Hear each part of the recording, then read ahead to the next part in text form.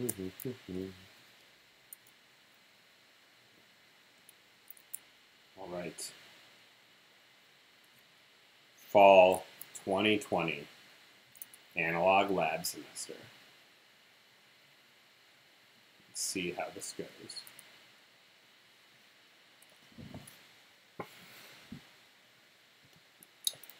Okay, just gonna check my settings, see if we're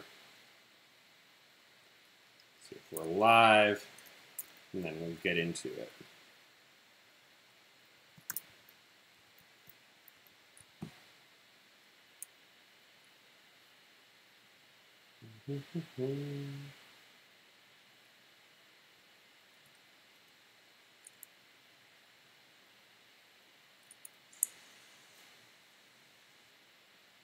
Cool.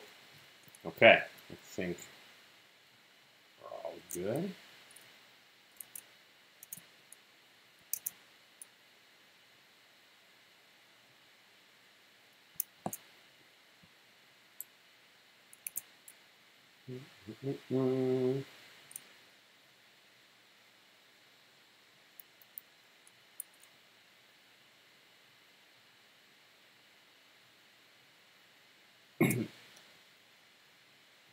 Okay, so uh, just as kind of an introduction to what's happening here, uh, I've decided to live stream the lessons on Sundays uh, for each week, and I will archive these to YouTube and post them on our class website so you can watch them at your leisure. Uh, but because I'm recording these videos and doing these lessons anyway, I figured uh, it might be a good idea to just allow people to hop into the Twitch chat, hop into our Discord server, and ask questions during the lesson. Um, because sometimes I might not, you know, cover something so clearly. Sometimes, uh, you know, there's there might be something that's confusing, and uh, I'd love for people to ask questions in real time. So it's not required, but um, it is welcome. So I'm in our Discord voice chat. Uh, I have the Twitch chat open as well. So if anyone has any questions about any of this material, um, just ask. Okay. So I said I was starting at 9 o'clock. It's 8.59, so I'm just going to give this one more minute um, just in case people decided to tune in before we actually start. Pop back over to our website here.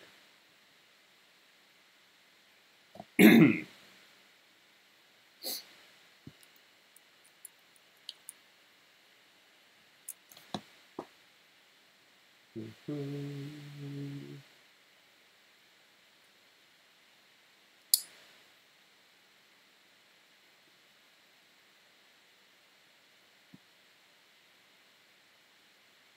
All right. Nine o'clock. Let's get started. So, um, this is the class website. This is going to be uh, the resource for analog lab, analog lecture, digital lab, and digital lecture. The website, which you probably can't tell because you can't read the URL, it's NYU Music Tech Electronics Labs, this whole title right at the top. Uh, wordpress.com. Uh, so I will send this out in an email uh, so that you can read over the syllabus, and uh, every lab will be posted here. So if you can't find it, you can always click on the site and um, find all the resources for this class. So I'm going to go over kind of the, um, the syllabus for this class and um, the parts and tools. I know I've sent a bunch of emails already, um, but I just want to clarify everything before we start, and um, then we'll dive into this week's lesson. So, uh, I clicked on Analog Lab. If you just go to NYU Music Tech Electronics Labs.wordpress.com, you'll get the latest post, which may not be for this class. So just click on Analog uh, when you get here. I realize you can't see the mouse on the screen, so I'll kind of try to point out where I'm clicking. uh, when you click on Analog Lab, you should see Analog Lab Fall 2020. If you see Digital Lab, you're in the wrong place. If you see Analog Lab Spring 2020, you're in the wrong place. Um, this class is going to be pretty different from past semesters, as you might imagine. Um, so please make sure you see Fall 2020 here. Um, I'm just going to kind of show you what's on this page. The syllabus link is at the top. Uh, the required parts and tools is linked here. Um, I want to highlight this paragraph. Because this class requires students to build and test analog circuits, the trajectory of the semester might change from the outline. I understand that this is a remote class and students might have difficulty working on these projects. Um, so what I've done is I've linked to last year's syllabus so that you can see what this trajectory used to be um, in case you know we uh, change our course. There's also a link to our Discord server that you can join here. Um, this, uh, if you've not used Discord, it's basically just a chat uh, program where we can talk and post links. Um, there's different channels for different kinds of conversations, and I find that it's going to be a good place for us to have class discussions without having a classroom. Um, so please join. It's it's pretty easy to figure out, and um, I will gladly help you uh, get situated in Discord. Um, I'm going to just click on last year's syllabus so you can get an idea of what this class is about. Um, this class is Analog Lab. It uh, goes hand in hand with Analog Lecture. And it's basically um, a project-based class where we'll be building uh, circuits on a breadboard. To get into that a little later. Uh, I think this class probably has two paths. One is for uh, guitar pedal and effects pedal manufacturing, and the other is sort of synthesizer and modular synth uh, making. it's going to be super rudimentary, but that's the sort of things that we'll be building here. So uh, last year, when we ran this class, uh, we did introduction to basic circuits, which is what we're going to do today. Uh, we're going to talk about some pretty basic building blocks of resistors, voltage dividers, power, uh, a couple laws that are, are, sort of what you would learn in a, an intro to EE class, right? Um, soldering, which was a big part of this class, but is going to be very difficult because we are not going to have access to soldering irons. So I may do an overview of soldering, but uh, it's not going to be required this semester, unfortunately. Oscilloscopes, uh, these are also um, devices that live at the NYU lab that we won't have access to, and we'll be using sort of a, a smaller version of what NYU has at the lab to analyze circuits. Uh, op amps, these are basically chips that um, can do a lot of different things, so we'll intro to them in week five. Uh, RC circuits and filters, oscillators, sensors, uh, and diodes. So these are all about nine weeks of lessons before we get into our final project. Uh, and so in the past, we've had one, two, three weeks of final project uh, in-class work days before the final projects are due. And then on the last week of class, there are presentations. So um, this is how this class used to run. This was fall 2019. This was one year ago. Um, and so I'm just going to go back to our syllabus. And um, I went back and forth a little bit on whether or not I wanted to keep final projects because I think it's going to be a little bit difficult to do with this format. Um, however, I think even if uh, we keep final projects, I'll still have a short lesson each week you may not have homework for the last couple weeks if we decide to work on them. I think we'll have to see where we're at uh, the last couple of weeks of the semester. So I've kind of outlined a few lessons, um, and I, I, think we'll kind of see where the class takes us and how everyone's doing with everything Um, and this all might change. So uh, you can see like the first couple weeks are roughly the same, but we might switch things up as the semester goes on. Um, so uh, with that, I'm gonna just talk about the syllabus a little bit. Um, so this is a lab class, and that means that each week you will be building and analyzing an analog circuit. Uh, so basically, your entire class is going to be based on completing these lessons each week and putting them together on a blog post and sending them to me uh, each week.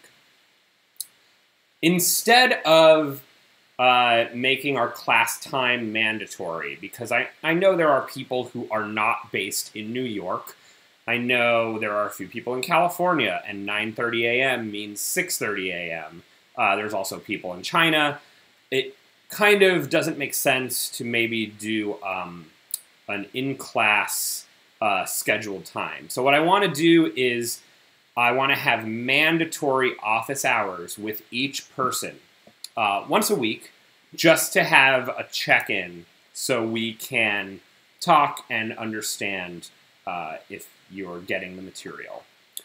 I'm still going to pop in to Zoom at 9:30 on Monday and 9:30 on Friday, depending on what your class is. Introduce the new lesson, uh, ask a couple questions, uh, and then just leave you to watch the video. So I will be on Zoom. I'll send out the links, but the mandatory attendance will be this office hours once a week for about 15 minutes. Um, you know, some of you might think that you're doing okay and you don't need the 15 minutes with me. That's totally fine.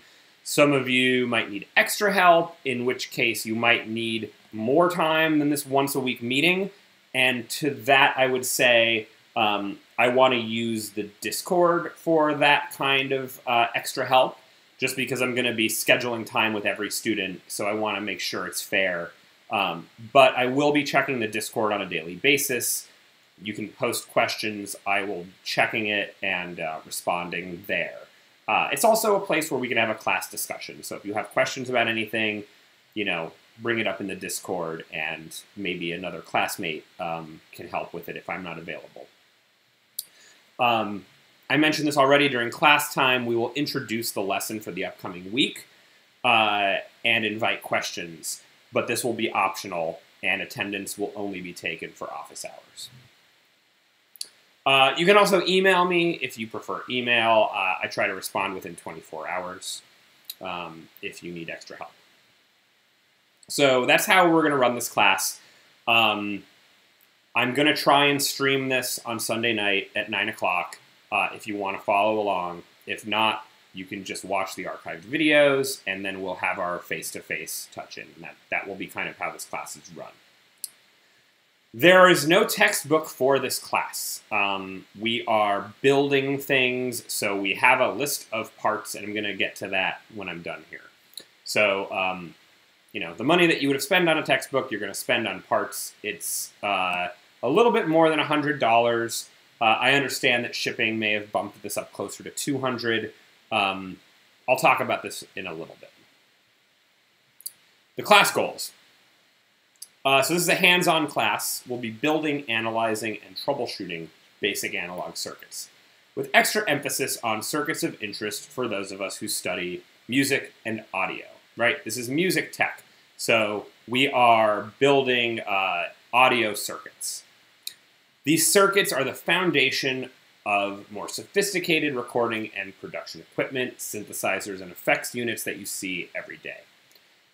Our goal for this class, in conjunction with the lecture, is to give you a basic working knowledge of analog electronics so that you will leave with the skills to design, build, and troubleshoot real life analog audio circuits. I just want to kind of set expectations here because I think people come into this class and think they're going to build a professional rack unit reverb, and I kind of want to shatter those dreams up front. We're starting from a super basic building block, and so um, I'm going to show you projects from semesters past and you can kind of see what um, people are building in this class. You're not going to build a piece of pro audio equipment in this class. Um, students have built guitar pedals. Students have built synthesizers.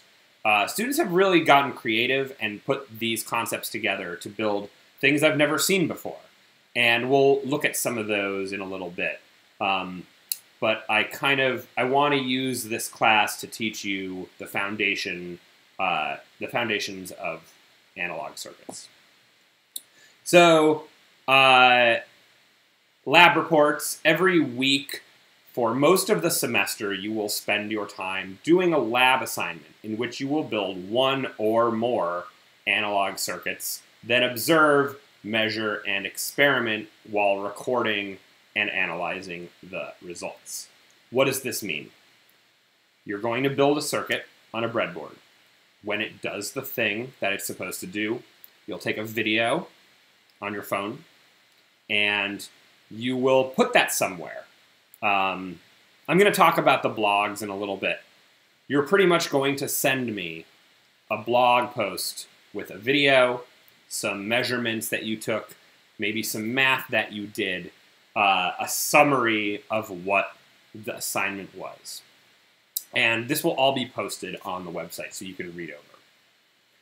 For every assignment, you'll do a lab report in which you'll explain in your own words what you did, how it worked, what you learned, and answer any questions I put in the questions section of the assignment. This will be pretty obvious once we start the lesson. Your lab reports every week must take the form of entries on a WordPress blog and must be emailed to your instructor by 5 p.m. the day before our next class. Uh, what does this mean? If you have a blog already that you would prefer to use instead of WordPress, that's totally fine. WordPress.com is the easiest place to set up a blog. If you have never used a blogging system before, I would suggest WordPress. Uh, however, use your own WordPress system that, or uh, your own blogging system. That's totally fine. Um, as long as you email it to me by 5 p.m. the day before class. So for my Monday class, that is Sunday at 5 p.m. For my Friday class, that is Thursday at 5 p.m. Please hand it in on time. Lab reports are graded on a scale of 0 to 5. You get one point off for a lab handed in late. So this is really important because students have lost a lot of credit for handing in late lab reports please hand your lab reports in on time. Even if you are confused about what you're doing, if you don't understand something, turn it in. You'll at least get credit for getting it in on time. For the last few weeks of class, as I explained earlier, you'll take everything you learned and design, build, and extensively document a unique, custom electronic musical device based on your own interests. You will not bring it in because we're not going to NYU, but you will present it to the class on the last day of the semester. There will be small mini assignments built into your labs early on that are designed to get you thinking about what you want to do for your project. It is expected that this project will either 1.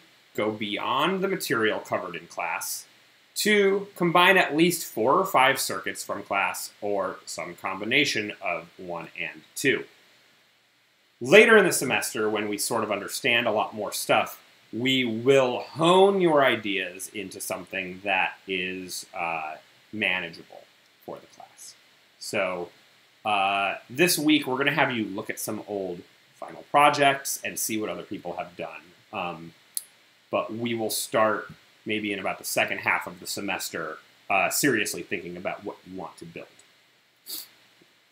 Your final project consists of successfully building your project, publicly posting your final project report. Uh, for your report, you will do extensive documentation of your final project, including schematics, video, audio demos, and a thorough and scientific and mathematically accurate explanation of how the circuit works. Um, we're going to look at examples of this. This sounds a little bit daunting, um, but hopefully, once you take a look at what people have done, you'll understand. The goal of this is to pass on your newfound skills and knowledge to future generations of intro to electronics students. Um, we hope that every semester people are uh, kind of taking it a step further, uh, building upon what students have done in the past. So we want to add your projects to this database. And so grading is pretty simple. Um, Two thirds of this class is your lab reports. One third of this class is your final project. I subtract any attendance penalties, and that is your grade. Uh, so not too much to it. Come to the class, do the homework, do the final project. You'll do fine. Um, it is expected that you will be in class on time every week this semester. This applies to the office hours. The only acceptable excuse is a medical emergency, family emergency, or official NYU function. An absence will be excused with a signed note from a physician, NYU faculty member, or family member. You are allowed one unexcused absence over the course of the semester. On your second unexcused absence, I deduct one letter from your final grade. On your third, you fail the course. Now, I understand that because this is remote, we maybe have the ability to reschedule, and I am amenable to that. However, there are two sections worth of students that all have their own schedule. So uh, rescheduling will be limited based on availability. So what I'd like to do is schedule your office hours at a time. Let's say you decide 10 a.m. on Tuesday. That is the time I'd like to have with you unless something comes up and you have to move it. Um, but I will talk to you one on one so that we can schedule our uh, in person office hours for a time that works for you. Um, and also, because I'm in New York, I'd prefer that our office hours fall between the hours of, let's say, 10 a.m. and 6 p.m., um, just because, uh, you know, I don't want to have to do things on the weekends or in the evenings. Uh, so if we can work things out, that would be optimal for me. You have to be in class on time every week. You are allowed to be late once over the course of the semester. For every time you're late after that, 2.5 points will be deducted from your final grade. Uh, this is no joke. Students have had as much as 10 points deducted from their grades for coming in late. Um, this is going to be applicable to our office hours because there might be back to back office hours. So if you come in late and then somebody has office hours right after you, I can't go late with you. Um, so uh, this is going to depend a lot on scheduling, but if we schedule 10 a.m. on a Tuesday, please be there at 10 a.m. on a Tuesday. Um, and that's pretty much it for the syllabus. So not too much here. We're doing a lab report every week. We're doing a final project at the end of the semester, and you have to be in our office hours on time. This is my email address. I've emailed you a dozen times, so you should have it already. But feel free to email me with any questions. Um, you'll also be presumably in the analog lecture with Stephen Litt. Uh, if you are only enrolled in one class and not the other, uh, please let me know. You should be enrolled in both Analog Lab and Analog Lecture. Um, cool. Did I miss anything? Twitch, did I miss anything? Silence. Okay. Let's go over our parts and tools. I've sent this out probably four or five times. Um, I think everyone has at least received this email by now. Uh, so, remember, no textbook for this class.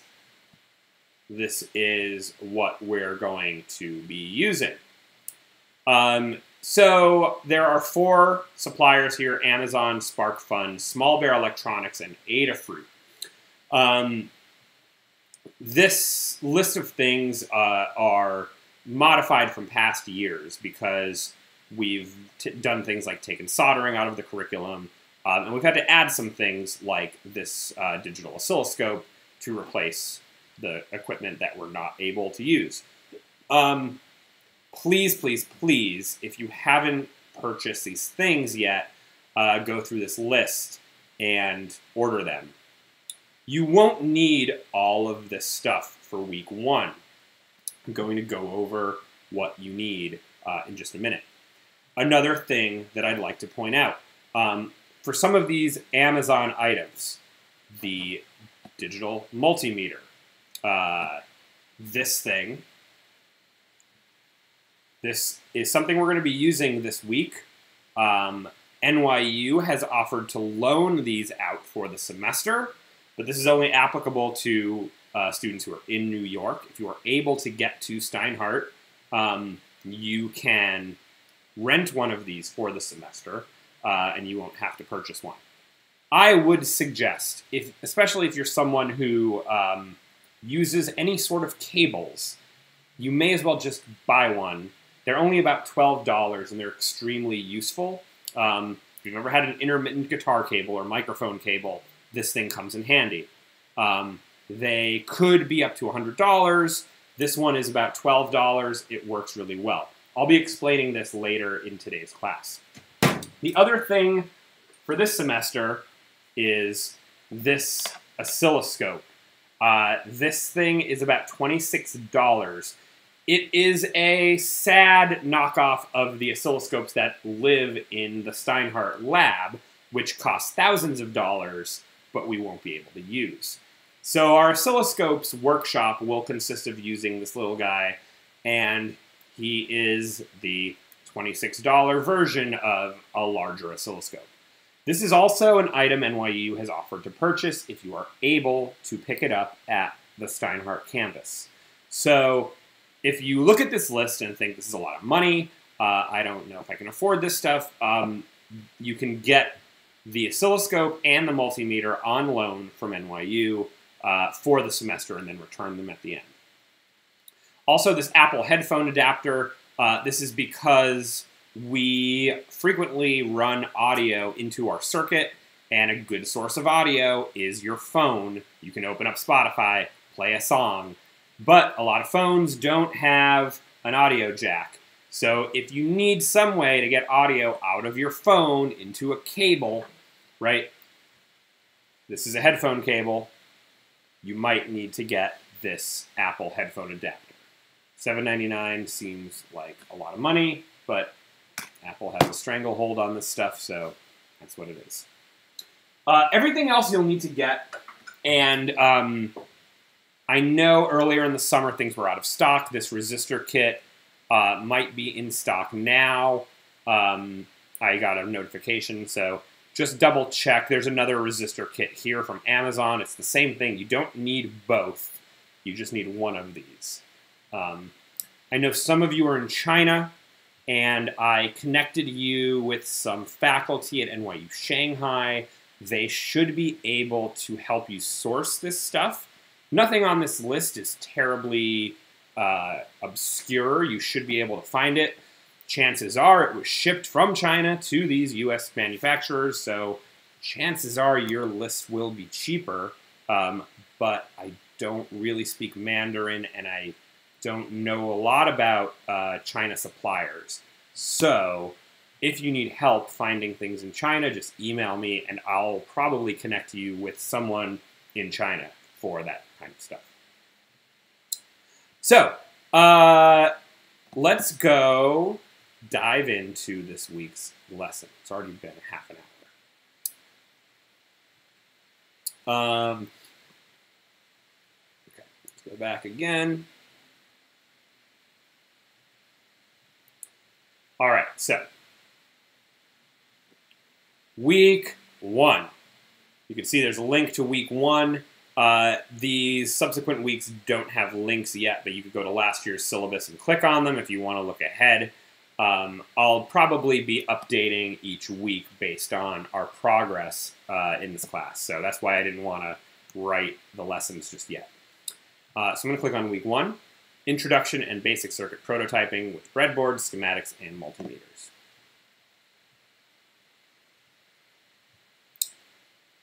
All right, now, before I start, I'm just going to switch my camera and I'm going to show you what you'll need for today's lesson.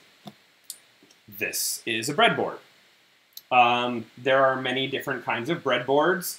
This one is probably a good size for this class. They also make smaller breadboards. Here's a little one with some stuff on it. It's like half the size. They also make bigger breadboards. Here's a gigantic breadboard, which is pretty much just a bunch of smaller breadboards put together. Um, you don't need a big one. You probably need more than the small one. So this is the one that I sent you in the link. You will also need a battery, 9 volt battery, looks like this. You'll also need this battery clip.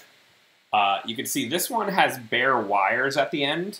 They do make them with um, like plugs, but you'll need this so that you can get the power into this breadboard. You'll need some wire.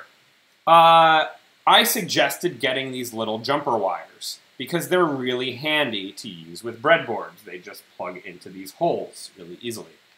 Um, wire is just metal in a plastic sleeve, so this is functionally the same as any other piece of wire. So if you have a spool of wire that you just wanted to cut into like little pieces, it's going to do exactly the same thing.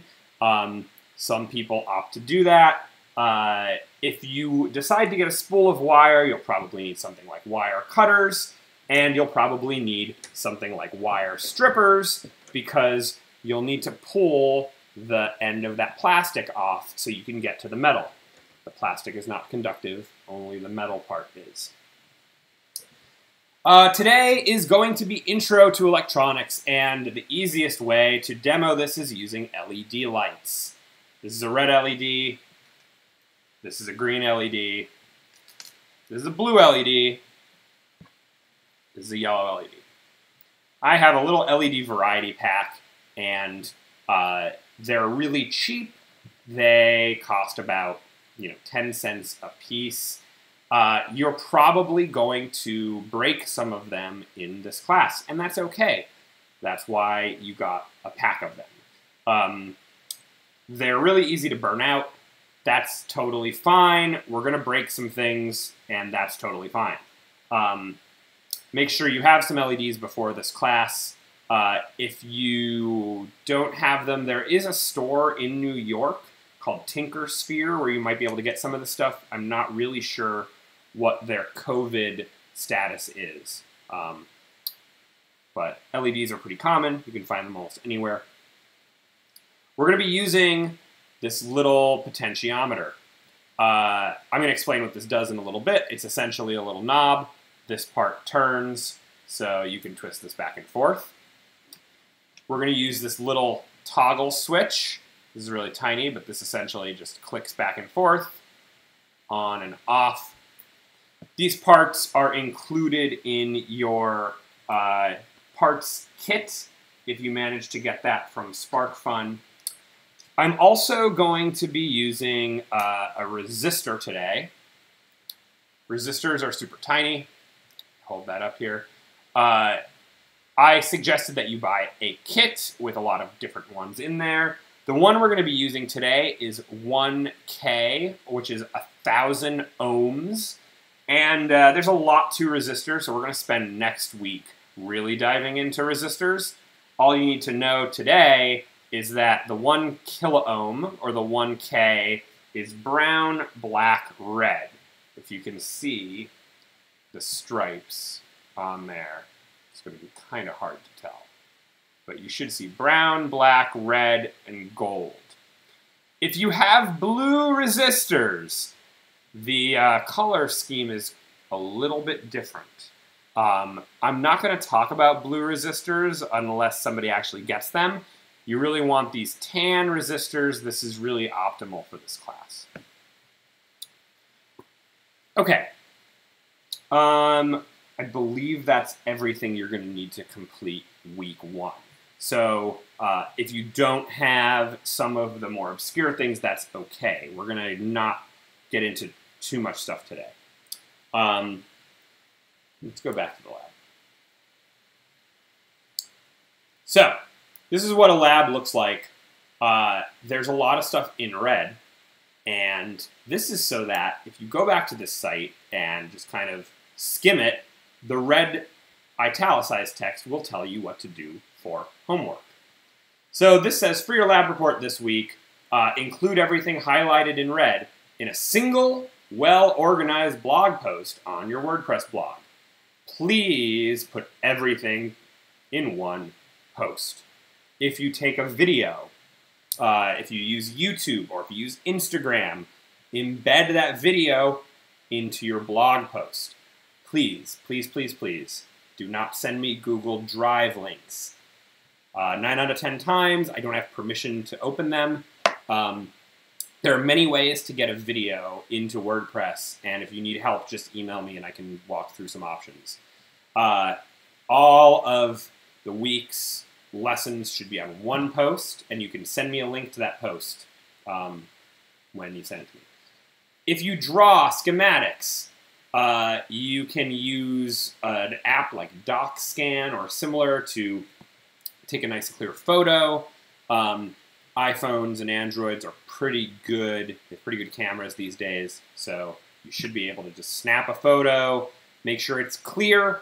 If you can't read your handwriting, I'm not going to be able to read it. So um, please try and be legible, uh, especially when you're doing written assignments.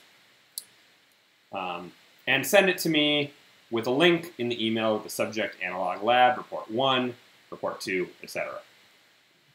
So here's what we're going to learn. In this lab, we're going to learn how breadboards work. We're going to learn how to make your first basic analog circuits on your own breadboard and learn how your real-life circuits relate to schematics. And then we're going to learn how to do some basic testing and troubleshooting with a multimeter. Uh, and so the multimeter that I mentioned earlier is also going to make an appearance. So uh, if you don't have access to this, but you do have access to the circuits, that's totally fine. Um, we're going to be using these next week a lot. So you really have to have one before week two uh, if you want to complete the assignment. So let's start uh, with breadboards. So for your first part of the lab, for your lab report, you're going to tell me in your own words what you've learned about how breadboards work and explain as if you're teaching this to someone who has never used one before. So, let's take a look at this breadboard. So, dating back to the 1970s, um, this is the tool that people use to prototype electronics because nothing in here is permanent, right? I can pop some wires in and I can move them around because these are just filled with these metal contacts that allow me to build and rebuild circuits. So before you have your custom circuit board, before you solder anything, this is going to be the first place that you design your circuit. Um, however, we need to know a little bit about how this grid works. So, the first thing I like to do is uh, split this breadboard into four parts. Uh, these two uh, edge pieces, and then this, all of this in the middle, which is split by this kind of cutout. So we have one, two, three, four sections. Functionally, the left-hand side is identical. It's like a mirror image from the left to the right. However, there's no connections through the middle of this breadboard. This is like a big divider. So nothing on the left is connected to anything on the right. Also, these columns on the sides are not connected to the middle. So this is an individual piece, this is an individual piece, this is an individual piece, this is an individual piece. So, um, how these holes are connected. Let's take this piece by piece. On uh, the outer sides, these holes are all connected vertically, right? So basically, I like to think that this blue line that is on the left is connecting all of these holes. If I plug anything into this top hole, right, like that, anything I plug in underneath, as long as it's in the same blue column, will be connected together, right? Basically, underneath this is a vertical uh, row of metal. So whatever I plug in gets connected. Uh, everything in that blue line is connected together. Similarly, anything I connect into this red column is also connected to everything below it. Now, the red and the blue are not connected together, and this is important when we talk about voltage. So, uh, you have an individual blue column here and an individual red column next to it. And on the other side, you have another blue and another red column. You have four columns. Remember, this blue column is not connected to this blue column. And this red column is not connected to this red column. These are all individual columns. Um, later in the semester, we might do something like this, where we connect this blue to this blue. And now anything I plug into this blue column will also be connected to this blue column, right? Um, I'm not going to do this just yet, but I just want to foreshadow a little bit about how we can expand our breadboard functionality. So, on the outsides, we have columns, right? Four individual columns, red, blue, red, blue. In the middle, we have rows. So, one, two, three, four, five holes connected across. One, two, three, four, five holes connected across. Remember, these holes are not connected to these holes. This break divides this breadboard in half. So, if I plug something into this first row, and then I plug another thing into that same row, they'll be connected together. If I put this under this vertically, they are in different rows. These two wires are not connected. Because remember, in the center, we're connected horizontally, right? Not vertically. Two things have to be in the same row on the same side to be connected.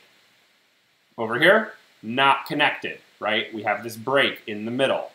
So I can plug this wherever I want on this side, and no matter what, it will never be connected over here.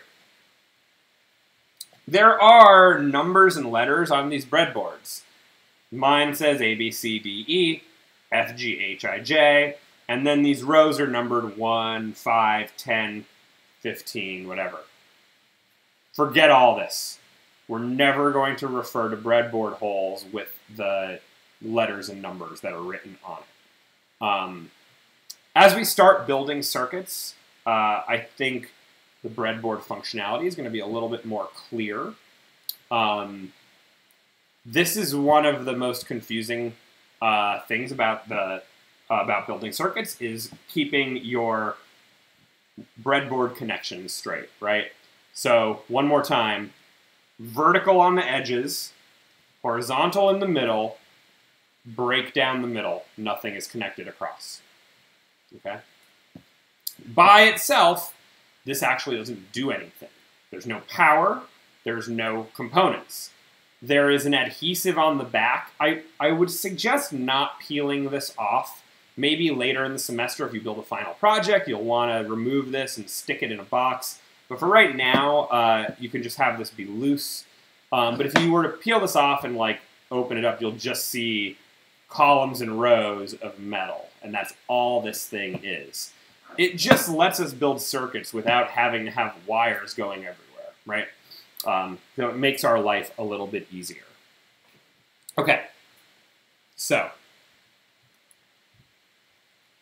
for your lab report, tell me what you learned about how breadboards work. If you don't understand yet, we're going to build some circuits and maybe it'll be a little bit clearer. Okay, so now we're going to start building circuits. we're going to build four circuits today, and the way we're going to do it is using schematics. Schematics are essentially just symbols that represent an electrical circuit. So, we're going to look at this first schematic together. There's a couple things going on here. Um, you can probably guess that this symbol with all these horizontal lines is our battery because it says battery here. So I know I'm going to need a 9 volt battery uh, for this. I have this little lightning bolt symbol up here that says 1K omega, uh, and this is the symbol for a resistor. Then I have this little triangle here with these arrows, and this is our LED. So basically, every component in analog circuits has a representation in schematics, in a picture, right? Um, so what I'm going to do here is I'm just going to pull out the things that I need. I'm going to take out my battery, and I'm going to take out my battery clip because this is how I attach it. I'm going to take out a red LED, and I'm going to take out my 1K resistor. And this is all I need to make this first circuit. Okay. Also, you'll notice underneath the battery is this triangle. This denotes the ground of our circuit. Essentially, if I take a look at this battery, this battery tells me a couple things just from looking at it. It tells me it is 9 volts. That is the quantity of energy that this battery has. Uh, 9 volts is not a terrible lot of energy. Um, if you were to plug something into the wall, you'd get 120 volts. Um, so compared to that, this is not that dangerous. Um, if you tried to shock yourself on this, it might be quite hard. Uh, I think you can touch your tongue and feel a little bit of tingling to these terminals, uh, but that's probably the most shock you'll get from this battery.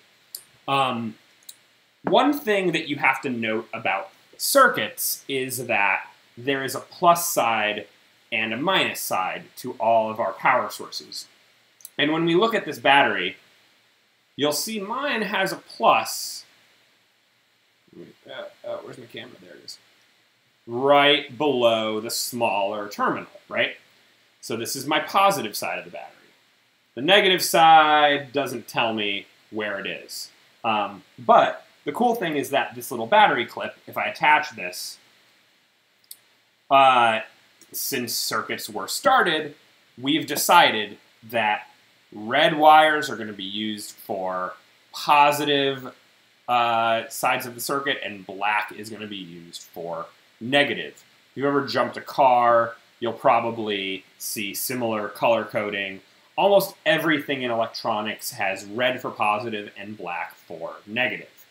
So once I attach this, I don't even have to worry about which terminal is which because I can assume that the red is my plus and the black is my minus.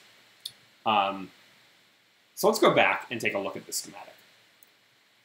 How uh, electricity works is we're going to start at the uh, top side of the battery.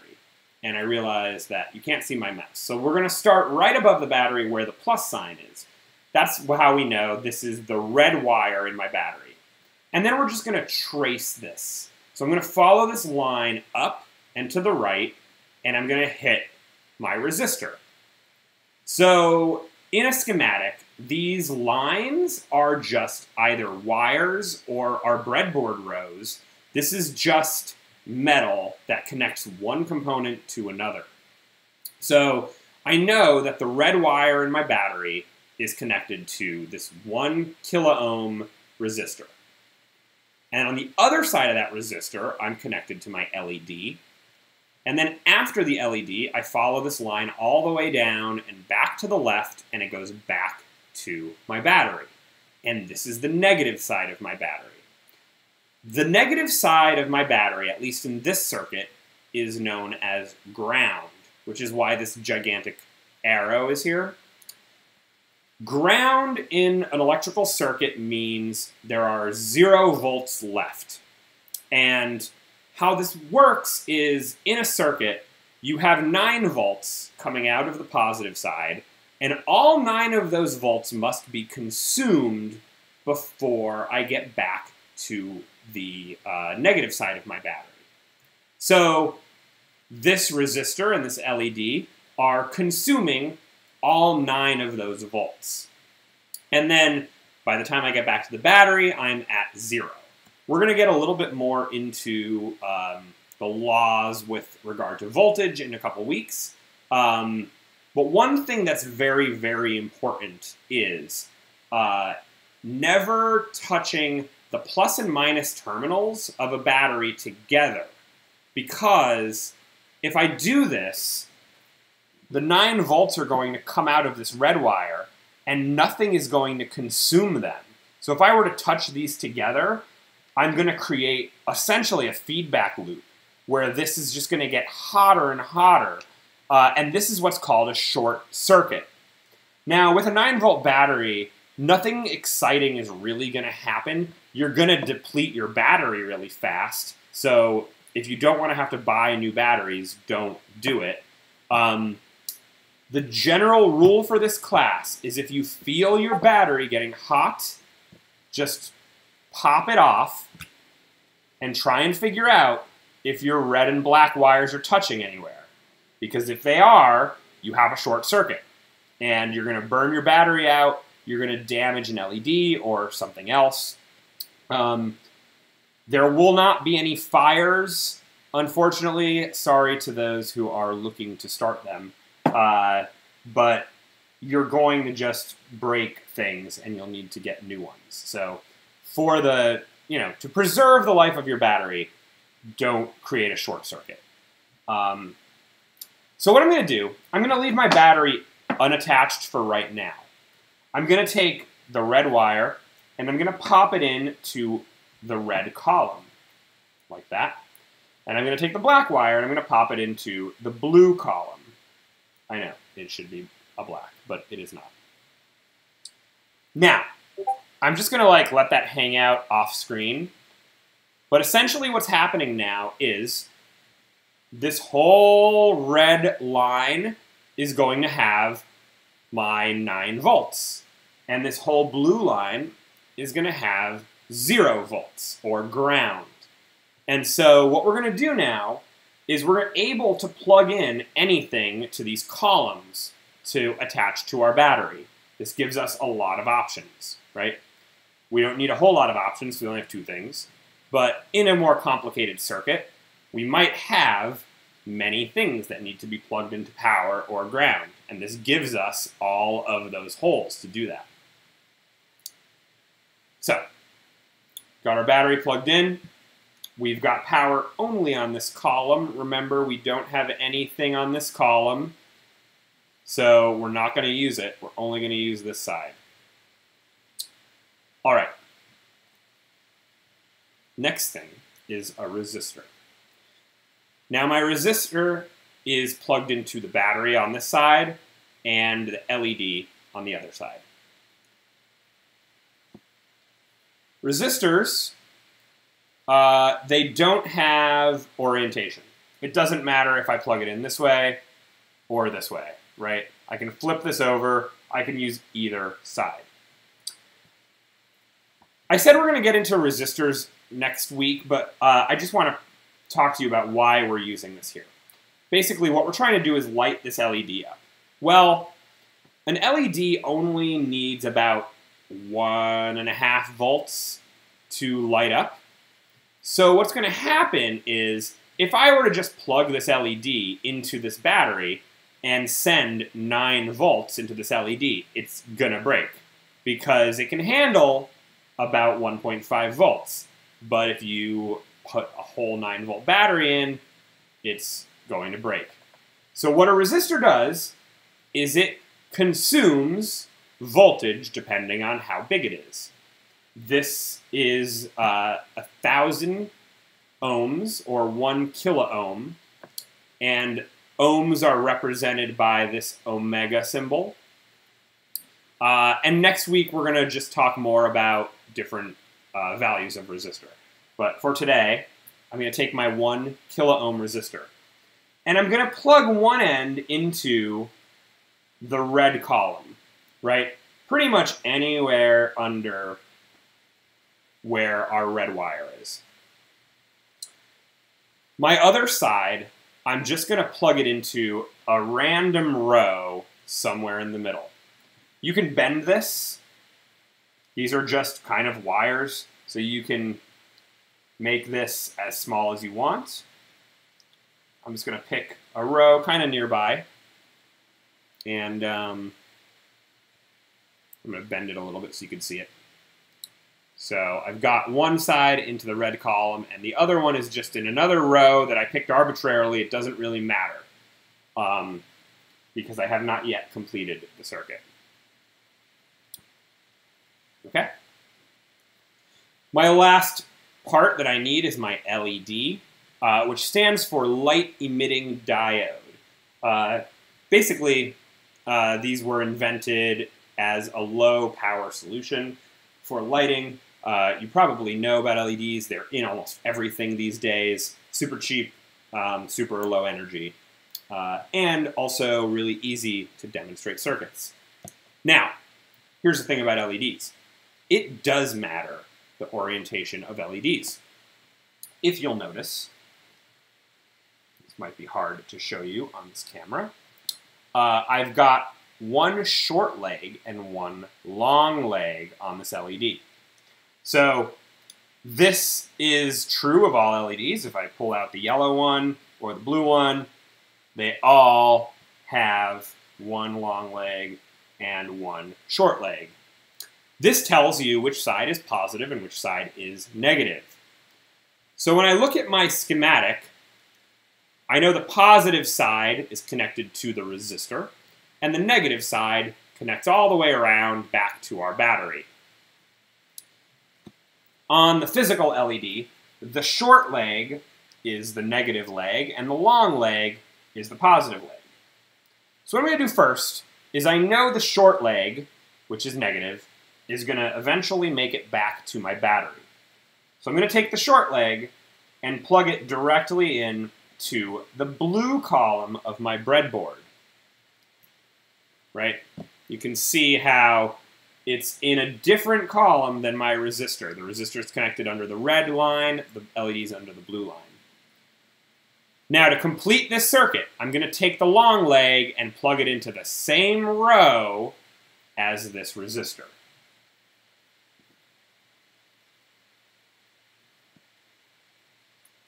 And when I do this, I have a complete circuit but remember, nothing's happening because I didn't plug my battery in yet. So let's see if I did it correctly.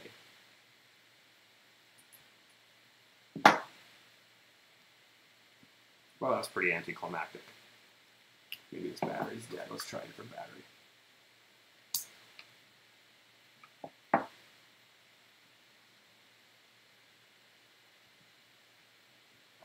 Let's try a different LED.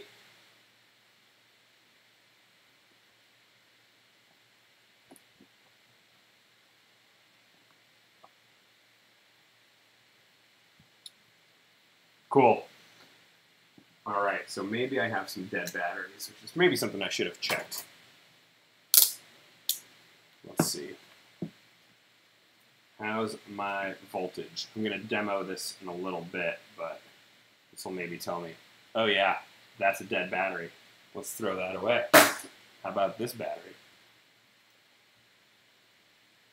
That's another dead battery. Cool. Glad I checked these in advance. All right. Let's see if I've got anything here that will work for today's lesson. Got another one here. That's 9 volts. All right. So, pretend none of that happened. We're going to attach our battery here, and boom. We've got an LED that's lit up.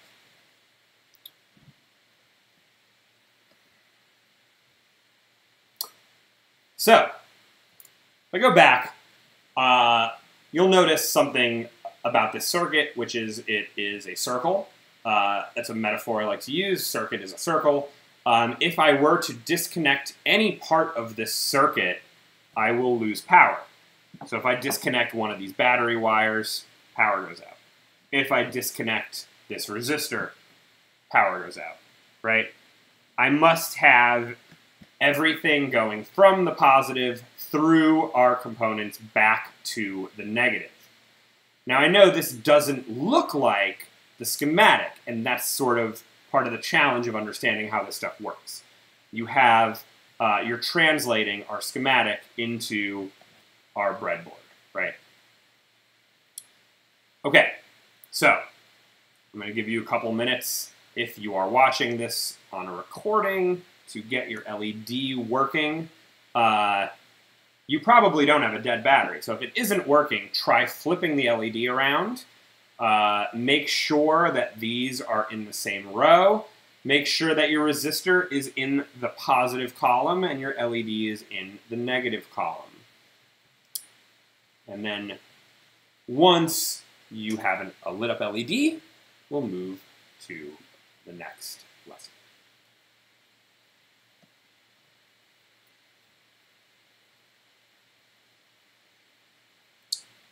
Okay, we've added a new component. This in the middle, in between our resistor and the LED, this is a toggle switch. You'll notice it has three circles. There's one on the left and two on the right.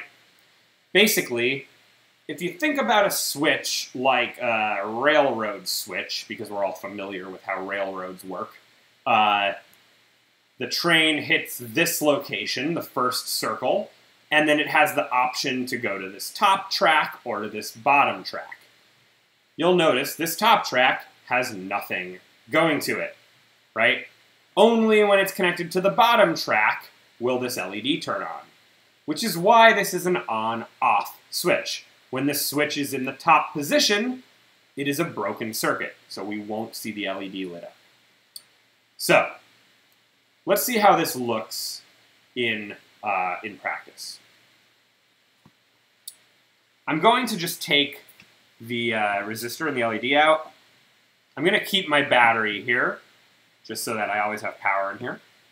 And I'm going to pull out my little toggle switch. This switch has three pins, right? And how this works is the middle pin of this switch is our what's called common pin. When the switch is in the top position, the middle gets connected to the top. When this is in the bottom position, the middle is connected to the bottom, right? So I can switch my middle pin between two tracks, top and bottom, right? Now, I want to place this on the breadboard so each position of this switch has its own row. This is really important. I'm going to give you a minute to place this switch into the breadboard, and I want you to try it and see if you can do it correctly.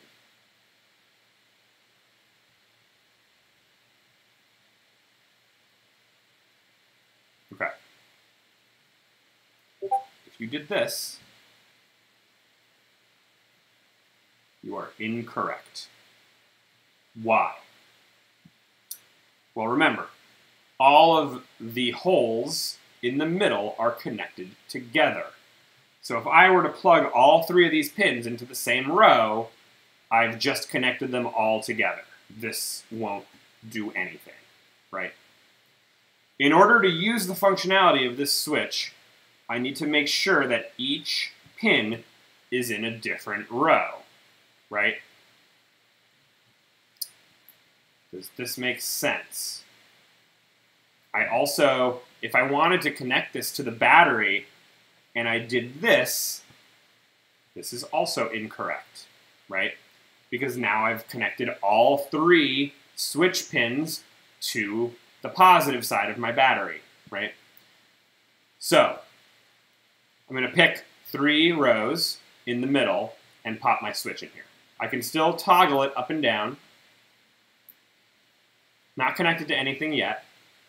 Uh, but let's use this with the circuit we built before and see if we could turn the LED on and off using this switch. Okay, so not terribly different from the first lesson. We're going to connect our resistor to the positive side of the battery, but then the other side of the resistor is actually going to connect to the middle of our switch. Remember, the middle of our switch is our uh, common pin. It's the one that toggles between top and bottom. So I'm going to take my resistor. I'm going to do what I did before. I'm going to plug it into any hole in this red column. And the other side, I'm going to go into the middle of my switch. I might have to lift the switch up a little bit because it's kind of hard to see where the pins are because this plastic kind of covers it up. But I'm going to connect the resistor to the middle of the switch. And then I'm going to take my LED and I'm going to take the positive leg of the LED and connect it to either the top or the bottom. It doesn't really matter as long as the LED is connected to one and then the short leg of the LED goes back to the battery. So, just like I did before, I'm going to start by putting the short leg of this LED into the negative, and then I'm just going to put this into, I'm going to choose the row below the resistor. So let's see. Currently my switch is in the up position. If I switch it down, LED turns on. If I switch it up, LED turns off.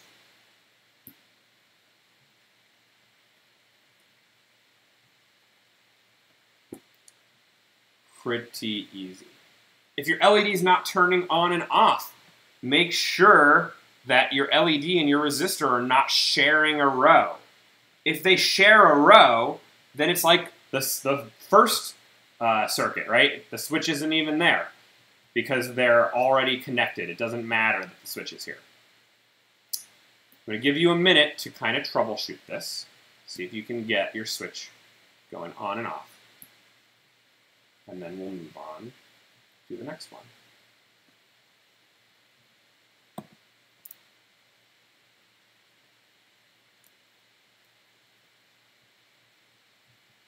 Okay.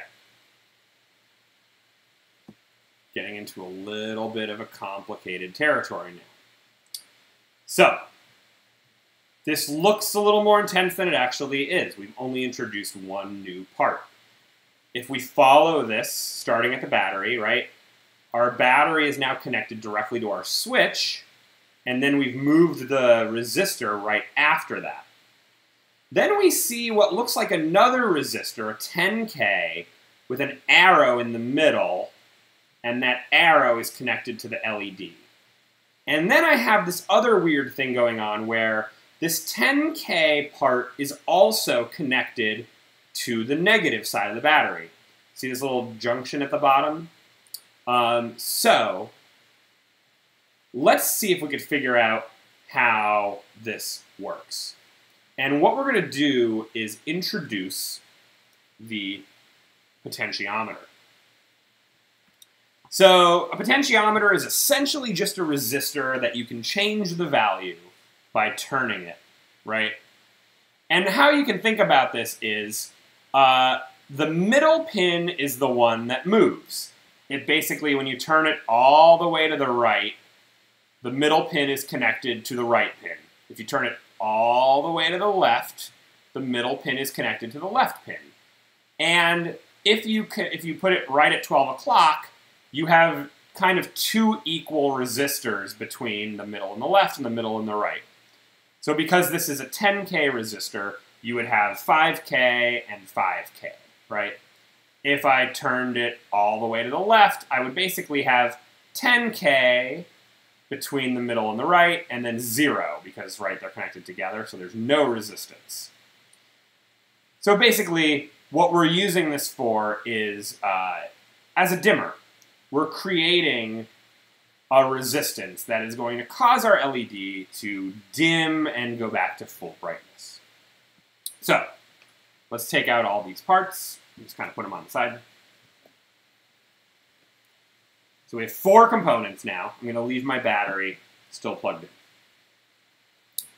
So let's start with the switch. We're going to start always at the positive, work our way clockwise. Well, okay. Immediately, I see an issue here, which is I have to connect the middle pin of the switch to the plus of the battery. Well, how can I do this?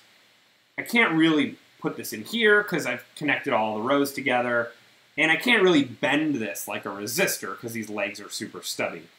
So here's what I'm going to do. I'm going to put this in to the breadboard, just like we did before. And we're going to take our other very useful tool that we have, which is a wire. And I'm going to get a red wire just so that I kind of am keeping our um, standards correct, right? Uh, let me see if I have one here. Because this is connected to power, uh, I want to use a red wire. This looks like what you've got in the kit, but it's really big, so I'm just going to use this little wire that I've got, which is also red, but it doesn't take up so much space on my breadboard. I'm going to plug it into the positive column, and I'm going to plug it into the middle pin of my switch. Right. So now my positive voltage is going into the middle of my switch and I can divert it into the top or the bottom pin depending on what I want to do, right? Next, I have my resistor. So just like we did before, we're going to connect one side to the switch, either on the top or the bottom, and the other side looks like it gets connected to my potentiometer. So I'm going to, let's do that in just a minute, but I'm going to just connect to the resistor. I'm going to use the bottom, and then I'm just going to pick another row down here. It's a little far away so that I can connect that. So let's see, just bring this up so you can kind of see it closer. So I've got my power going into the middle of my switch, and then the resistor going into the bottom. Of the switch. Okay. Now, let's take a look at this potentiometer. Remember how I said the middle pin is the one that moves up and down? When we turn this, the middle pin is the one that moves. That is this arrow that's connected to the middle. So basically, the top of my potentiometer is connected to my resistor. The bottom looks like it goes back to the battery because I'm tracing this along. Uh, and the middle is connected to the LED. So, similar to my switch, I'm going to choose three rows, right? Because I don't want to connect these together. I want to use different rows. But the top pin is going to go into the same row as my resistor. Because remember, I just popped that resistor into a random row. So I'm going to press this in so that the resistor is in the top row and then I have the middle and the bottom available. Remember, three pins in three different rows. If you put them all in the same row, they're all connected together, it won't work. Make sure they're in three different rows. Okay, now, we're going to connect the middle to our LED. Pretty much the same thing we've done for the last two circuits. We're going to put the long leg into the middle pin of the potentiometer, uh, and then the short leg into the negative side of our battery. So, I'm going to do that. And I'm going to turn this off for now because I want to kind of demo how this works. Now, we're not quite done. Even though this did light up, I want to show you something. It's going to be hard to see here, but I can make this max brightness. But when I turn this the other way, that's max brightness, when I turn it the other way, it never quite goes off. And the reason for that is we've not connected the bottom of this to anything. It's just kind of connected to a row with nothing in it. So what I'm going to do, if I look at my schematic here, the bottom of this potentiometer, the 10K, is connected to the same row as ground, right? So I'm going to take a wire, and this time I'm going to take a black wire because black is the color we use for ground or negative. And I'm going to connect the bottom row of that potentiometer to ground, the negative side of the battery. And now I can turn my LED on and I can turn it all the way off to zero, right?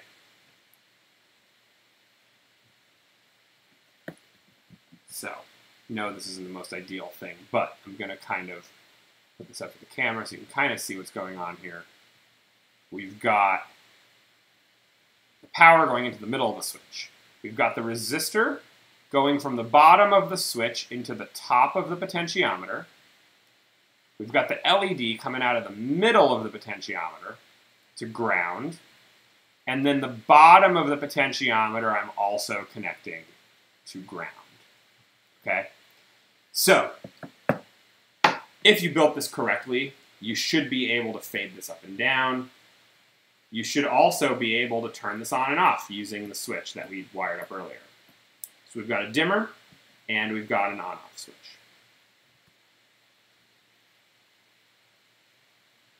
All right.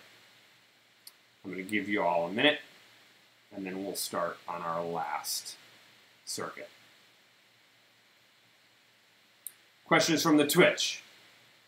Questions from the Discord.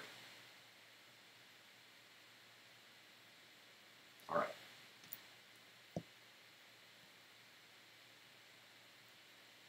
So, this is going to be the most complex circuit of the day. All we have done is added another LED. You'll notice all the rest of this is the same, but the uh, kind of orientation is different. Before I explain what this does, I want you to just kind of take a guess. If your guess was a crossfader, you are right. This potentiometer is going to crossfade between two LEDs. Let's take a look. Here's our normal on-off switch. Then we hit our resistor. However, now our resistor is connected to the middle of the potentiometer. So when I turn it all the way to the left, or all the way to the top, I'm going to light up this top LED. When I turn it all the way to the bottom, I'm routing all the power to the bottom LED. This is exactly how a crossfader in music works. If you have two channels of audio and you want to crossfade between them, you can use a passive component like a potentiometer to do that. Um, we're not going to get into music this week, but uh, let's build this LED crossfader. Uh, one thing to note, um, it's probably ideal if you use two identical colored LEDs because some LED colors draw more power than others, and it won't be a total 50-50 balance of brightness. So I'm going to grab another red LED. Feel free to use two greens or two blues. As long as they're the same color, you'll get the right effect. Now, if I look at this circuit, it's pretty much the same up to the resistor, right? Like if I scroll up here, I have the 9 volt battery, the switch, and the resistor. So all I'm going to remove here is everything after the resistor. We could build this from scratch again, but I'm kind of pontificating a lot, and I don't want to make this too long. So we're pull out this LED, we're going to pull out this ground cable, and we're going to pull out the potentiometer. So basically, the beginning of my circuit is the same, right? we have power going into the switch, and then we're going into the resistor.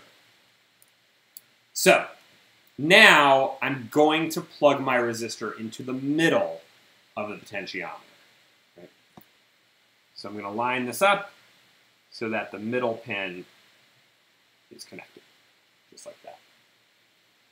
I don't know if you can see that, but basically that's going in the middle instead of the top. Now, all I have here are two LEDs.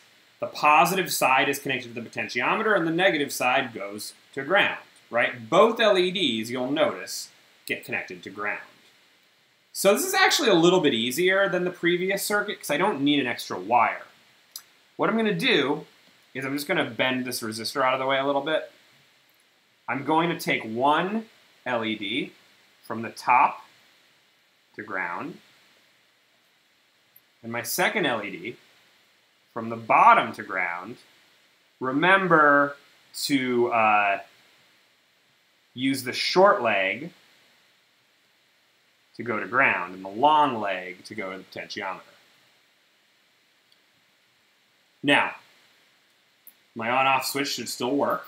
I didn't change that. When I'm on, now I'm crossfading from one LED to the other. Right? As I turn this, the brightness swaps.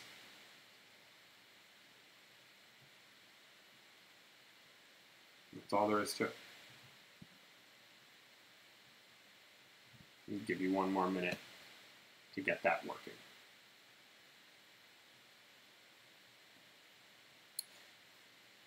Essentially, what's happening here, right, is we've got this 10 kiloohms of resistance. And sometimes we've got 10 kiloohms between our power and the bottom LED, in which case it's not going to light up. And sometimes I've got 10 kiloohms between the top LED and the power, which means that one's not going to light up. All I'm doing is changing the resistance so that our voltage either lights up the bottom or the top LED.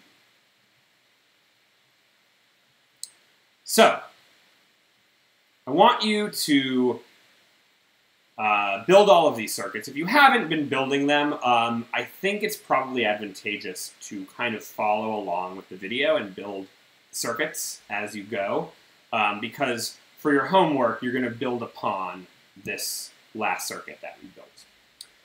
Before I introduce the homework, um, let's just talk about schematics for a second.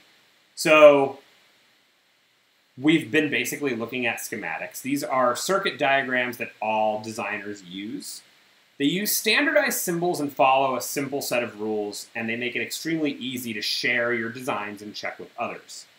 Uh, if you open up this Wikipedia page, you can look at a bunch of different electronic symbols that exist. Um, we're probably not going to use a vast majority of these. You can see there's different forms of ground. So you may have seen these like three horizontal lines. You may have seen this kind of pitchfork shaped thing. Um, these are different power supplies. So batteries, voltage sources, usually depending on what you're using for power, you get a different uh, voltage source. Uh, different resistors. If you're based in Europe, you might have this rectangular resistor rather than the lightning bolt shape. I'm going to blow this up a little bit so you can quite see it. So these are the resistors that are pretty common in America, but you might see these rectangles. It's the same thing. Um, capacitors we're going to get to in a couple weeks. Diodes we'll also talk about. Uh, I would advise just skimming this Wikipedia page. If you've ever looked at a circuit uh, diagram or a schematic, you may have seen some of the stuff. These are um, MOSFETs and transistors, um, vacuum tubes. Pretty much everything that is part of a circuit can be drawn in uh, a schematic form, right? Uh, I would also say, if you are a music and audio gear enthusiast, Google accompany schematics. So, like, uh, Anybody in the chat got a got a good company they want to Google? Usually this is some fun class participation. We don't have that though. Let's try uh, Big Muff schematic. So if you're not a guitar player, the Big Muff is sort of one of the most common distortion pedals, fuzz pedals. And you can see, if I search Big Muff schematic, I've already got a lot of results. I'm just going to click on the images and we can take a look. These are most likely mods. Um, very few pedals will release their schematics, but a lot of people will build clones and release those. So if I take a look at this, see.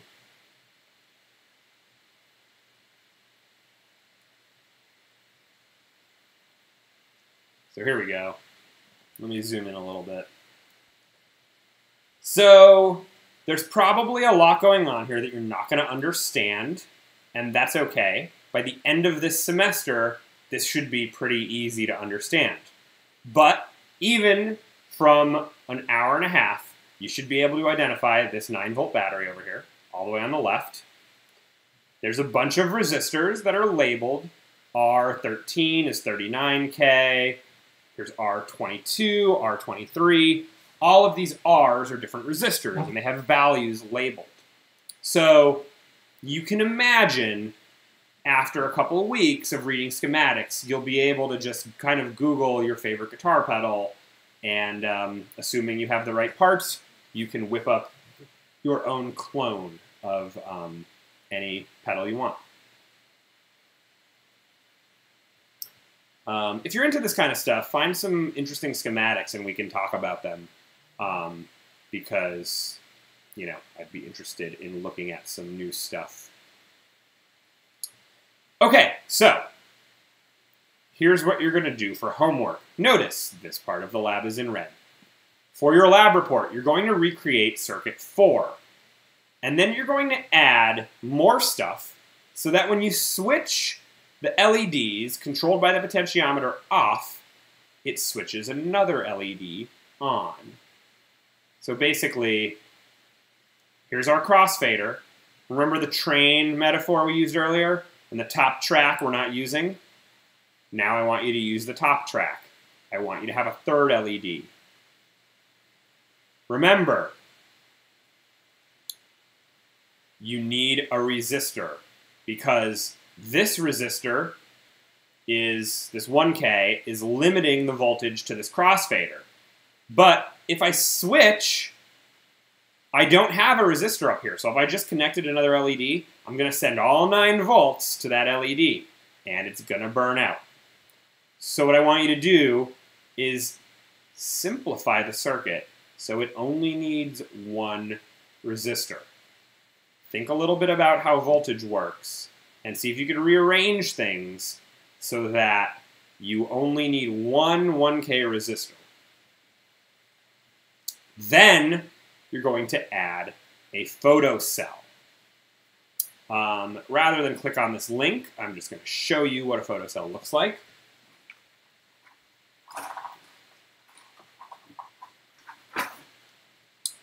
This is a photocell. It's got some squiggly lines on it. And this is essentially a photosensitive resistor. So, kind of like how with a potentiometer, when you turn this, it changes the resistance. With a photocell, when you change the amount of light, it changes the resistance. So, this should come in your uh, parts box with all the rest of the stuff. And what I want you to do is uh, add a photocell that controls the brightness of your new LED. So, three parts to this. You're going to add a third LED that's connected to the other side of the switch. You're going to rebuild your circuit so you only need one resistor. Then, you're going to add a photocell that controls the brightness of your new LED. Okay? The crossfader that we built is still functional. So you don't take this apart. You're just going to add to it. Once you do this, you're going to take a video of the circuit working and post it on your lab report. Uh, as a note, you'll be uploading a lot of short video demos. The easiest way is to upload to YouTube and embed it in your blog. Uh, actually, in the last couple semesters, I've had students create a new Instagram account for this class, which is also fine. Um, just please embed your Instagram videos in the blog so that I don't have to monitor two different things. Uh, your blog post should have everything, uh, the video, the schematic, uh, everything you need. Then you're going to draw schematics for your new circuit and post a photo of it. I would suggest uh, maybe doing this by hand, pen and paper. There are circuit softwares that I'm going to talk about uh, eventually, but uh, I'd rather you just draw this by hand for this assignment. Uh, it's perfectly acceptable to draw by hand and take a, a, scan or photo of them. You can also use your phone's camera, just make sure it's 100% readable. Um, I'm not taking points off. If you get this wrong, I want you to just give this a try. We're going to be drawing schematics for most labs, so um, I want you to just practice and get better at it. Uh, for the photocell, if you click on this symbol, this is what it looks like. You know what? This is not what it looks like. Let's just Google photocell schematic. And essentially, it's a resistor inside of a circle with arrows pointing at it uh, because light is coming in as opposed to light exiting like an LED. Uh, so, eh, too much. Let's go back. I just want to look at this image.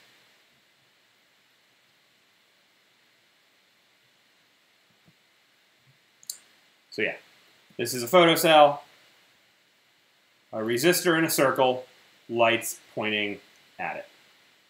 Don't worry about this circuit over here. I don't know what they're doing, but this is how you draw a photocell.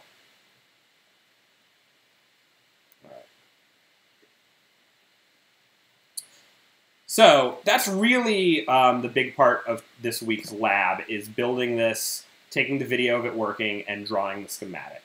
Um, I sometimes will give out bonuses. I know labs are out of five points, but uh, we will have an extra point in this lab. And um, I would suggest doing the bonuses because if you get points off, this might offset that in the future. So if you find that this is really easy, try to add anything else to your circuit that does anything and report back on successes or failures. Like maybe you can try adding a push button instead of a switch. Um, try to do things. Uh, let me know what happens. This is pretty open-ended, so it's an easy point to get. Um, try and use some of the other stuff in your kit. Uh, don't try to like program a digital chip. It's going to be too much, but um, you know, within reason. Okay, so that is really most of uh, the assignment.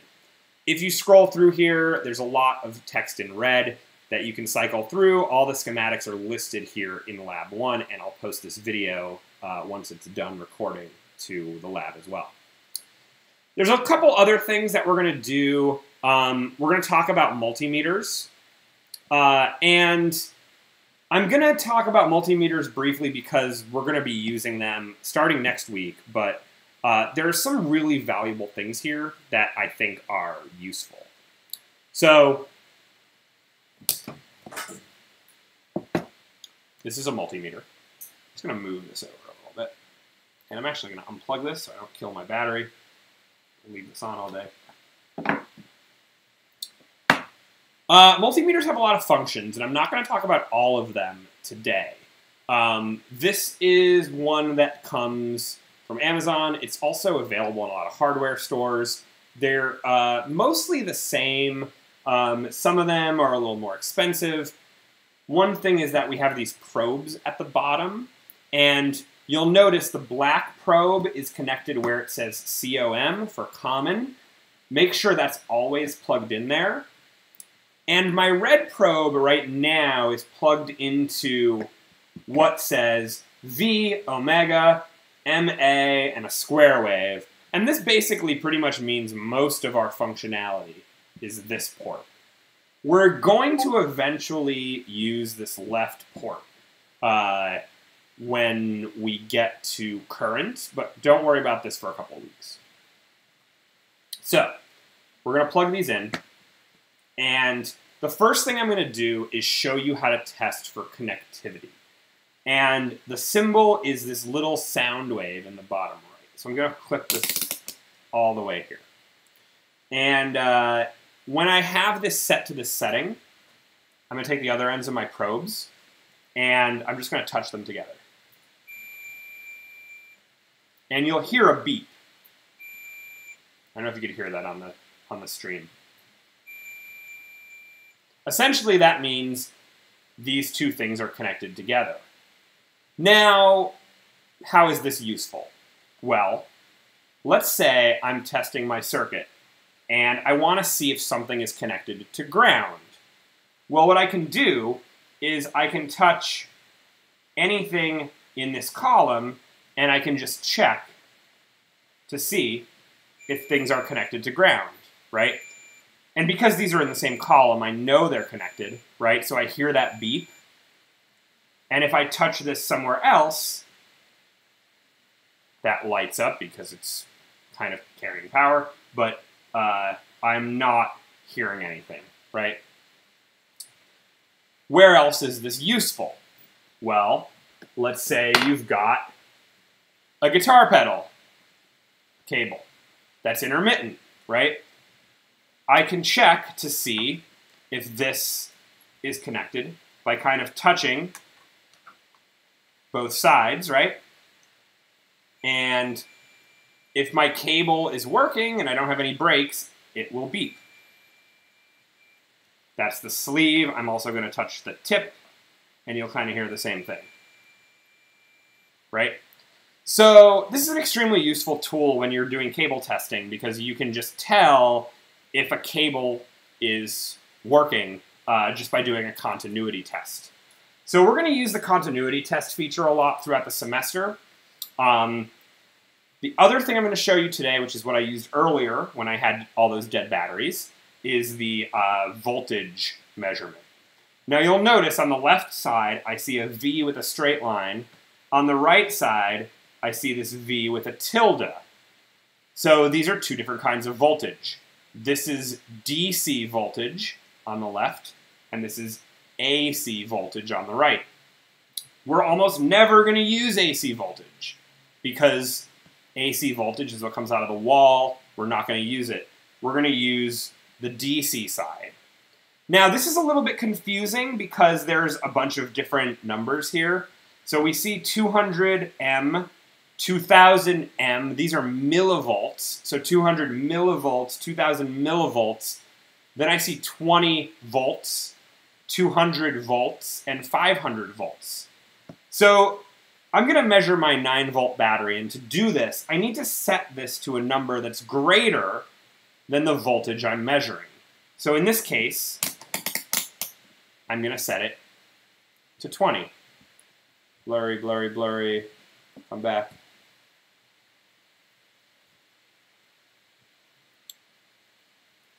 See. Let's remove this autofocus. Come on.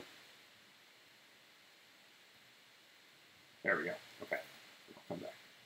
Cameras are fun. All right. So it's set to the 20, right? Now, I can take anything less than 20 volts and measure it. Now, I'm not going to look at the battery. I'm just going to pick two terminals. And it says 8.96, right? Now check this out. If I swap these,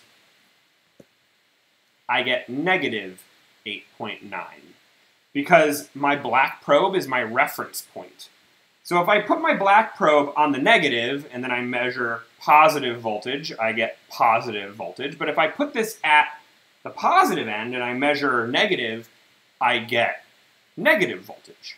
And that's because voltage uh, is a quantity, and depending on how I measure it, can determine whether it's positive or negative.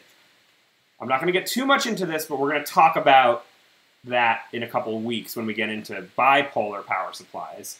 But just know that I can have plus 9 volts or negative 9 volts out of this battery. And I can also split this battery down the middle and I can have plus 4.5 and minus 4.5 volts and my zeros in the middle. Um, so I can divide up this voltage as much as I want. But what's in this battery is 9 and uh, you should measure your battery. You will have somewhere between 8.7 and 9.4 volts. If you measure your battery and you've got like 7 volts, you should probably get a new battery. Uh, throughout the semester, inevitably, some of you will short your batteries and you'll need new ones. Um, I would suggest measuring them time to time, like I did in this class, to make sure you have enough volts. Uh, we're also going to talk about measuring resistance. We're going to get into that next week, but you'll see the omega symbol here, and there's all of these values for resistance that I can set this to. Uh, and just for you know demonstration purposes, I'm going to measure uh, my 1K resistor here. So I'll set this to 2,000, which is greater than 1,000. And we'll see 9, 972, pretty close. So uh, next week we're doing a lot of measuring resistors, so get yourself a multimeter if you don't have one.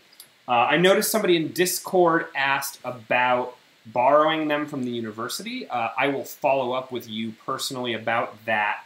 Uh, I need to just basically give your NYU Net ID to the university so that they can put a set aside. Um, so I can email with you or chat on Discord and we can get that all straightened out if you want to borrow one from the university. Um, you don't need to get this exact multimeter. They all are pretty similar in how they operate try not to spend less than like $9 on one because they do make really cheap ones in hardware stores. Um, but if you get one that looks like this, it'll do the trick. You don't need the one on Amazon. Um, they're all pretty similar. One last note, this hold button, if you press it, uh, you won't be able to do anything. So if you have a little H in the corner, uh, that is just locked. So just make sure you're not on hold if you want to use this. I think this one also has a little backlight, which is nice. You know, you can get one with a backlight or not. Um, don't leave your multimeter on or you'll kill the battery. So that's pretty much that. Uh, obviously, there's a lot more to multimeters that I'm not explaining today, and as we cover more concepts, we're going to talk about more of the features. But for this week, I want you to tell me about multimeters, the same way you told me about breadboards. Um, maybe you want to watch some YouTube videos and see what else they can do. Uh, so I'll let you kind of uh, do that on your own. Okay, two more things and then we're done. Uh, next part. A huge part of this class is building circuits and making mistakes. You're going to mess things up. So, uh, what I want you to do, in addition to your assignments, I want you to keep a log and uh, this can either be a section of your weekly report or a totally different log. Anytime that you learn something new or realize you made a silly mistake, I want you to jot it down uh, and keep this for the semester. Um, I'm going to check it every now and then and make sure you're updating it. This is going to be really useful at the end when you're doing your final project to look at things and be like, oh, maybe I plugged in the wrong leg of the LED maybe I, you know, put the switch in the row horizontally instead of vertically. Anytime you realize that you mess something up, write it down and keep a troubleshooting log. So you're going to have a section of your lab report called Analog Circuit Troubleshooting, where you list every mistake that you make, and you're going to update this throughout the semester. So um, figure out how you want to organize this, send it to me this week, and just keep it in your mind to keep this updated because it's going to help you to get better at building circuits. Okay, last thing. We're going to talk about final projects. And I realize that this semester is probably going to be a little bit different based on how we're doing this remotely. Um, but I have some links here to some past final projects for this semester. What I want you to do is check out a few of these um, and write about three or more that you think are interesting. So um, there is a long list here. They span anything from guitar effects to, uh, you know, vocal. Uh, somebody made a um, de-esser one semester. Um, people make some really crazy stuff, so I want you to just kind of look at this list and see what people are building for this semester. Um, these are the final lab reports. So when you click on one of these, you're going to see what a final report should look like. And this is probably good to see, you know, what people are doing. So we have basic explanation, we have a video, uh, we have an audio demo, here's a SoundCloud link, here's another SoundCloud link, these are different parts. Um, this person breaks these apart into different circuits and kind of talks about what each one does, and here's schematics for each one. Um, so I'm just going to kind of quickly scroll through this. Obviously, this is going to be too advanced for this class, but you can get an idea of like the complexity of some of these final projects. So we're going to get through all of these different parts. And then at the bottom, we're going to see the full circuit. At some point, there we go. Everything attached together. Um, and, you know, that is pretty much what we expect out of a final. So, you know, like I said earlier, you're either doing like a combination of four to five different circuits or going beyond the scope of this class to build something interesting. So um, I'm not going to get into any of these because I really want you to explore these on your own, but I want you to go through several of these and um, let's say three, watch the videos, write about what's interesting to you, and what inspired you about them and what you might want to do for this class. Um, and that is it. That's it for week one. So there's a lot of stuff to set up uh, for this class. You have to set up your WordPress. You have to make sure you have the parts necessary to build these circuits. If you have any issues with either of those, please email me, message me on Discord. I'll be checking the Discord server. Um, bookmark our lab uh, page because we'll be using this throughout the semester. Um, and yeah, please let me know if you have any questions uh, about any of this material. I'm going to reach out to all of you individually about setting up office hours. Um, so feel free to uh, email me. We will have class at the scheduled time this week. Uh, Monday's class will happen on Wednesday. So this Wednesday is a Monday schedule um, for, I think, because of Labor Day. So I will have class Wednesday morning at 9.30 in the morning and Friday morning at 9.30 in the morning. We're going to talk about all this stuff, and I'm going to give you this video. Uh, and then from then on, it's going to be a check-in, and we'll be doing office hours. So please come to this week's class and then we'll do office hours moving forward, and I'll keep doing videos like this. If you would like me to change anything about how I'm doing this format, uh, this is new to me as well, please let me know. Uh, I'm happy to, you know, get better lighting or audio if my voice is not legible or the circuits are not legible. I'll try to improve this where I can. Um, it's going to be a weird semester, but we're going to get through it, and I'm excited to see what you guys are going to build. So I will talk to you in the Discord, and I'll see you in class this week. Thanks.